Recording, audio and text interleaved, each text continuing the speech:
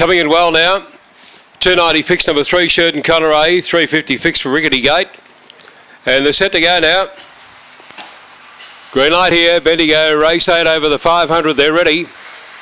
Racing now, Sheridan Conneray jumped away okay, away fast there, Maximum, uh, Maximum out wide, it's going fast early, and pushing through Sheridan Conneray, went through to lead Maximum back, and Dale followed the Rickety Gate up to second, I should say, but two lengths away then came to Steady Wahoo, who's third, followed by Bucky, Boy, a gap then Mahogany Sapphire, Kenbray Million going out to the there would have been Maximum back, and well back would have been Hatchet Bar into the straight now, Sheridan Conneray down on the inside, the outside there came Rickety Gate, it's Sheridan Conneray hanging on to the post, Sheridan Conneray, Destiny Wahoo second, third, Bucky Boy. Then Rickety Gate followed next then by Mahogany Sapphire.